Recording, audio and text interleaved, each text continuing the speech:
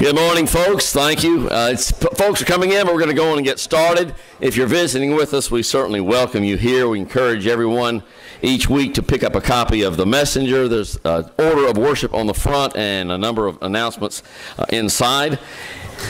On the back are meeting where our, our, life groups meet at different times and places across the city, and some of them have been taking a bit of a hiatus during the summer. They're getting ready to crank up. Uh, by way of announcement, I will mention that uh, my particular group is meeting at 5:30 tonight, folks, instead of 5 o'clock as is in print. So 5:30 tonight for the Sikes uh, Life Group. Make a note of that. I appreciate Eric speaking in my absence last week. I was away at uh, summer camp in North Carolina. I've been going there pretty much all of my life.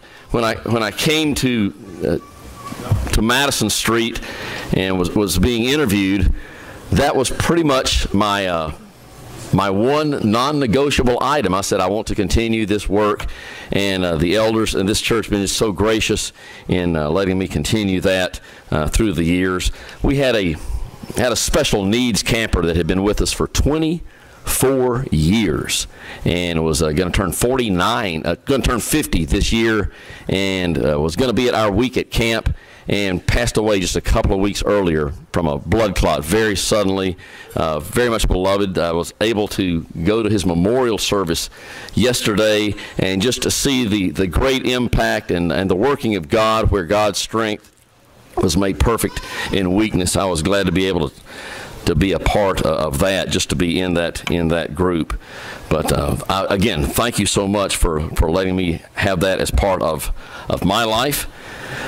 I'm glad to be upright and talking and all of that after after a week of that. But we are certainly thankful that uh, that that you are here.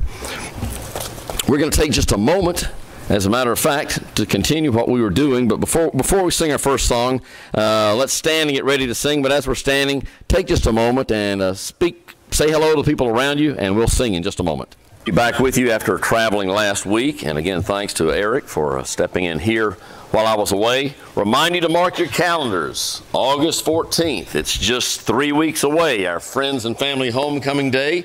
I hope you're making big plans for that. Wilson McCoy, one of our one of our own, is coming back home to speak to us. Uh, the uh, son of Larry and Glenda McCoy. He's in Lebanon right now, and just looking forward to him being here to teach combined class ages sixth grade and up at 9 o'clock, and then our worship service at 10 o'clock. We're going to be sharing a big potluck we can use some help and some volunteers for that. The ladies are meeting together to sort of recreate uh, a ladies ministry here and they're meeting this coming Saturday and that will be part of it. But just looking for various volunteers to help that potluck flow smoothly and I know it's just going to be a great day. August 14th so go on and put that down. And be hearing more details about that in the coming days. You know very familiar passages of scripture sometimes can they can just go past us without us giving it much thought. And I want to focus on one example this week, and it's really a follow up from a couple of weeks ago when we looked at that parable of the Pharisee on one hand and a tax collector on the other. And the Pharisee was full of pride, and the tax collector was literally humbling himself before God. And that's what we're going to be looking at this morning. James 4 and verse 10. It says the words that are on the screen, let's say them together Humble yourselves in the sight of the Lord and He will lift you up. We'll be singing those words in just a few moments, and I hope we really uh, mean them as we sing them. You know, the Bible is full of stories of people who did just this. I mentioned a few for starters. I, one in particular that comes to mind, Numbers 12 and verse 2 says that Moses was very humble. He was meek more than all of the men on the earth. An old King James word, meek. You know, when I think about meek, uh, one thing that comes to my mind is growing up and, and reading comics, and in the comics there was Superman, but I hope I'm not a spoiler alert. he had a secret identity. It's, it's Clark Kent. And, and Clark Kent was a meek, mild mannered reporter for the Daily Planet. And now, when you, when you think about meek, you think about weak, but uh, Clark Kent uh, was not weak. He was Superman with a shirt and tie and a suit. He just kept it in check. No one really knew it when he was Clark Kent, but it was there all along. You see, meekness is not weakness, it can really be power under control.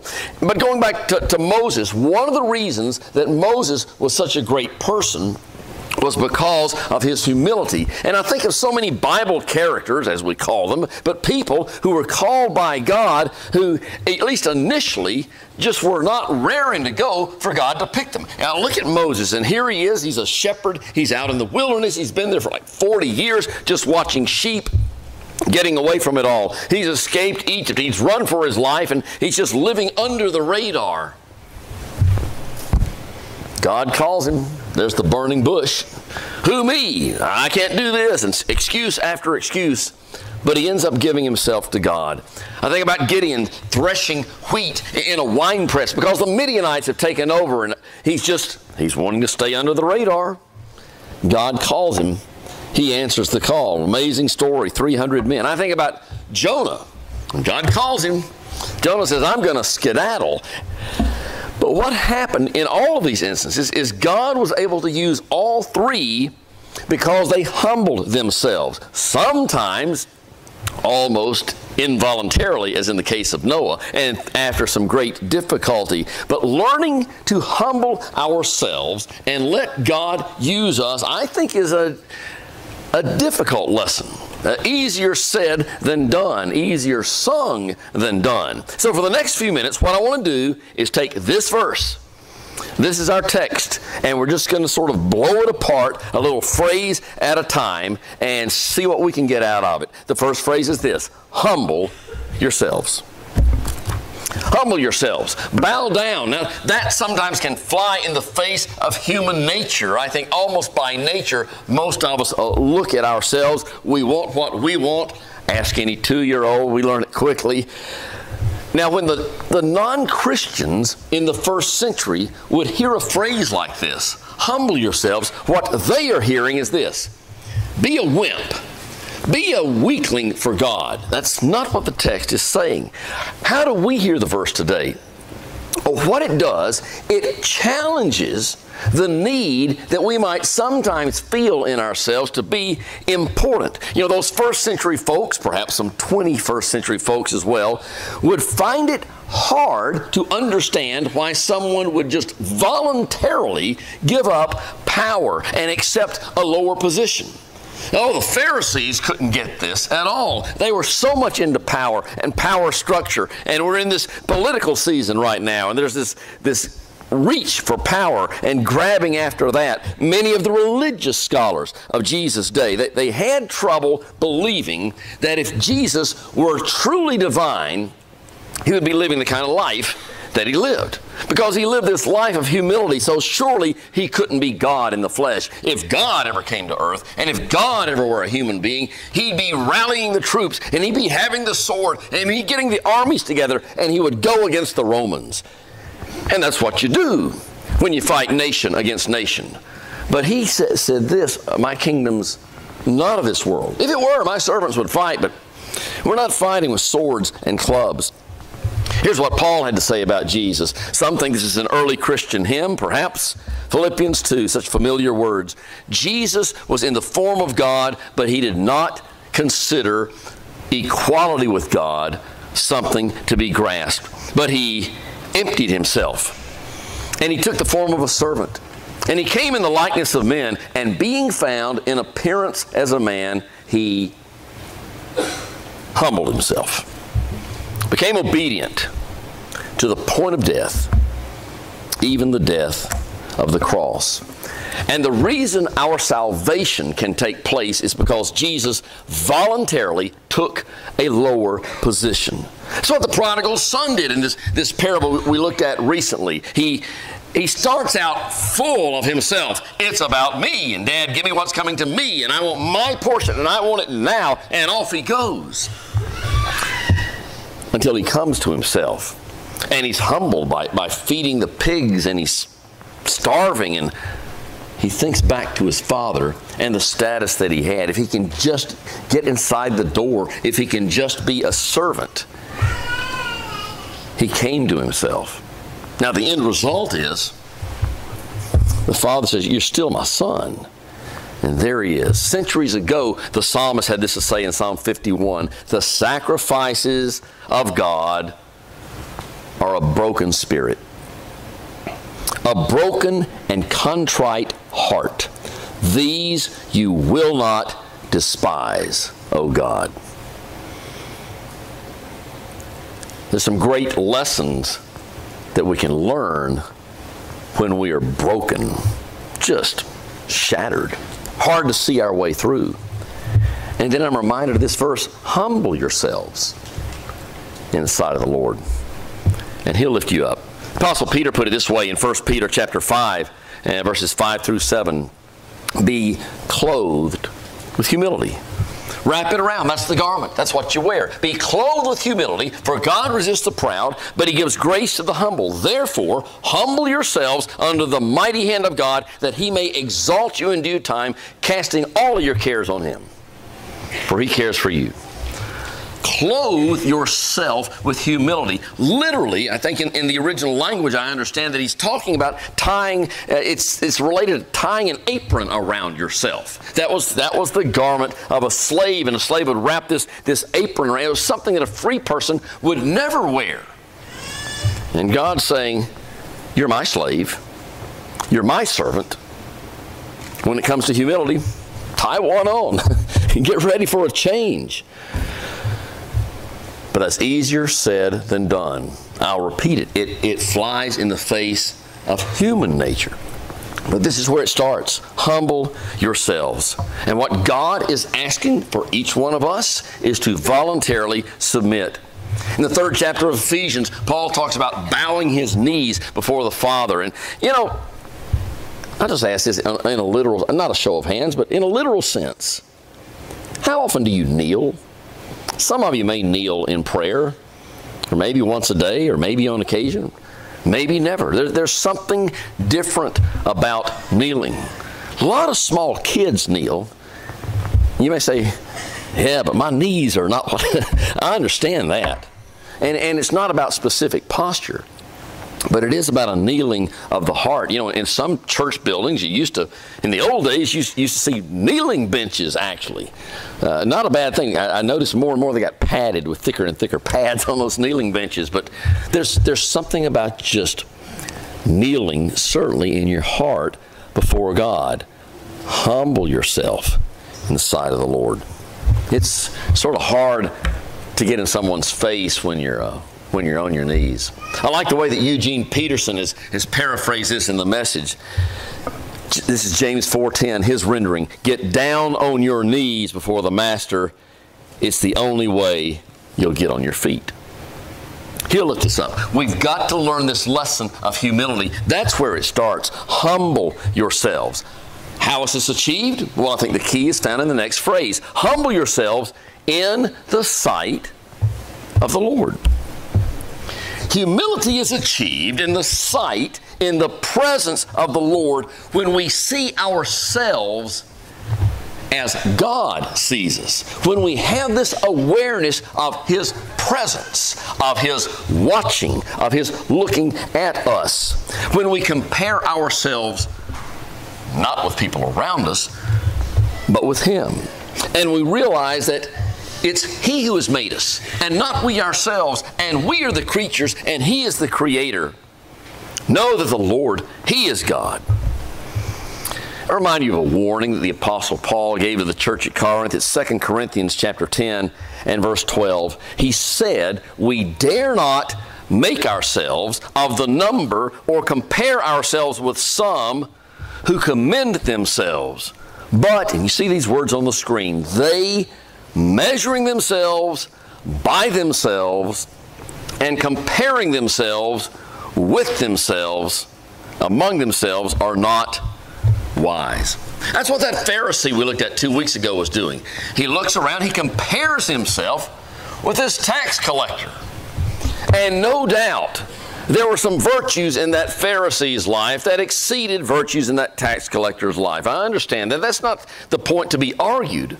But he was using the wrong standard of comparison. He stands there and I do this and I do that and I thank you, Lord, that I'm not like that guy. And he wasn't. okay. And I can almost picture God saying, fair enough. And what's your point there? See, he's comparing himself to the wrong standard. What if he is, in some ways, quote unquote, better than that guy?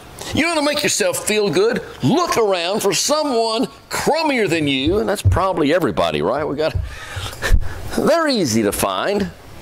Don't pay attention to those whom you think are better than you, and oh, don't you feel so good? I'm better than she is. Well, I'm not doing what he did. Well, I'm one up on. They compare themselves among themselves, and they are not wise. They're comparing themselves to the wrong standard, and sometimes we may feel impressed with ourselves because we're looking in the wrong direction. What we need to do is humble ourselves in the sight of the Lord. You know, compared to God, we're sort of like candles on a, on a sunny day. There we are, but, but He's God, and, and we are not, and we humble ourselves in His sight, in our com- in our humility, we need to be relying on God. Without it, we don't learn, we don't appreciate, we humble ourselves in the sight of the Lord. He's our standard, He is watching us. And I go to these, these next two words and He. And He. We need this. We need the and He in this verse. And how do we get to the and He? And the way we do that is through humility. You remember in Acts chapter 10 when, when God told Peter, I want you to rise up and kill and eat these animals. The animals that Peter considered to be unclean. And indeed, uh, God had talked about them under the old covenant. But the new was coming in. And there was a time of transition. And God says, Rise up, Peter, kill and eat. And Peter says, Not so, Lord. Quick aside. Think twice before you say that to God, you know. Lord, I think you Lord, have you not read Leviticus lately? Could you turn here to this passage? And as long as Peter held to that answer, not so, Lord, he's losing access to and he. Because God is God. And he wants us to humble ourselves before him. Think about all the great things that Moses did, and, and Moses was meek in all the earth, but God calls him to this great task. And Moses answers, but unimaginable all that Moses went through through the years and, and the murmuring and whining and complaining. And there was that, that, that fateful day where he just lost it. We got to get water for you, you rebels. Watch this and whacking this rock and going to the people and and it wasn't a matter of technicality. Should you speak? Should you strike? You know, he, now what God tells Moses is, it wasn't about the striking or the speaking. He says, you didn't humble me. You didn't, you didn't hallow me. You, you didn't humble yourself and hallow me and put me forth as holy. Moses, there was no humility in you on that occasion. He lost his access to the promised land because he lost sight of and he. God, by His grace, let Moses go in about 1,600 years later after he died, but not then. When we try to exalt ourselves, we don't leave much room for God to work. Never mind, Lord, I got this one. I can take it. I'll call on you if I need you. I want you to be on standby now, just just in case somehow something goes wrong. I think I don't think I'm going to have to do that, but the reason Moses was so great, and yes, there was that occasion in his life, but it was because even after this initial resistance, he ended up letting God use him for his glory. And he's as meek a man as ever walked the earth outside of Jesus Christ. You want to be great? Here's some advice humble yourselves in the sight of the Lord, and he will lift you up. That's the lift we need. Listen to Jesus' advice in the 23rd chapter of Matthew, beginning in verse 11. He who is greatest among you shall be your servant. Whoever exalts himself will be abased, and he who humbles himself will be lifted up, will be exalted. Where does the journey to humility begin? Well, let's back up just a few verses in James. You've already heard them read. Lonnie read them to us. Verse 7, if you've come to vacation Bible school at Madison Street at Trenton Crossing, you may have run across James 4 7 before. Resist the devil and he'll free from you. But it, but it starts this way submit to God. Therefore, submit to God. Whatever he says, that's what we're going to do.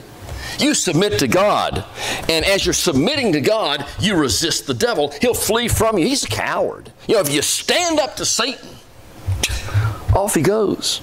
Oh, doesn't mean he won't try to come back, but resist. We submit, we resist. Verse 8 Draw near to God, and he'll draw near to you. Cleanse your hands, you sinners, purify your hearts, you double minded. Lament and mourn and weep. Let your laughter be turned to mourning. Let your joy be turned to gloom. And one thing that James is saying in these verses is this the path to humility passes through repentance. We humble ourselves. Lord, I can't do this on my own. Purify your hearts, cleanse your hands, repent as we chase after humility. It passes through, this path passes through coming to God, giving ourselves completely to Him. And we're starting by, by, repenting of our sins and, and coming to God in baptism. We, we offer that invitation publicly every time we come together. We're doing it now. We're going to sing this song in just a moment. We're going to sing these verses. If you need to be baptized in the name of Jesus, you can do that right now before we leave this place. In baptism, here's what you're going to do you're going to get in that water and submit. You're going to submit your body. But for, for baptism to, to, be the real thing, you're submitting your heart. I mean, you're submitting your body so much that you're put under the water. You're pulled up out of the water, almost like a, a death, a burial, a resurrection. You submit. You submit your body. You submit your heart. And as you come to that baptistry, you come with a heart that says, I repent. I want to be clean. I want to be like Jesus. God resists the proud, He gives grace to the humble. And He asks us to humbly come to Him, like, like the heart of a little child. James 4:10 says this, "Humble yourselves in the sight of the Lord, and he will lift you up." Many of us have seen a lot of people lifted up out of that water of baptism, and again, if you need to do that this morning, we got all the time you need. You may need to come and ask for prayers. Most of all, as we sing this song, I just hope that you, you look inside yourself and, and pray. Lord, make me the kind of person that I want to be. I want to do whatever I need to do to humble myself before you, to submit, to follow your will. If we can help with that in any kind of public way, come to the front, express your need. Let's stand, sing this old song.